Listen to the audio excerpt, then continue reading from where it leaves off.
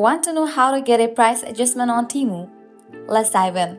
First, open your Temu app and ensure you are logged in into your account.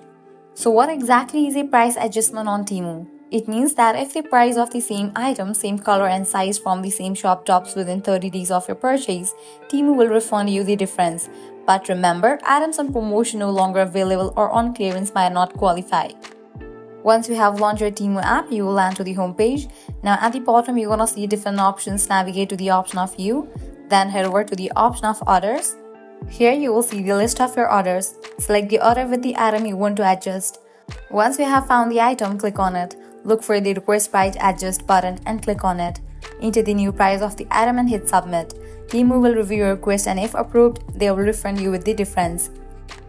You must request a price adjustment within 30 days of the purchase date. The item must be in original condition and unused.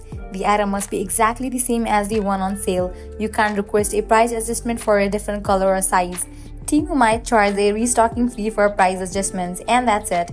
Now you know how to get a price adjustment on Temu. If you found this video helpful, be sure to like, share and subscribe to our channel. Thanks for watching.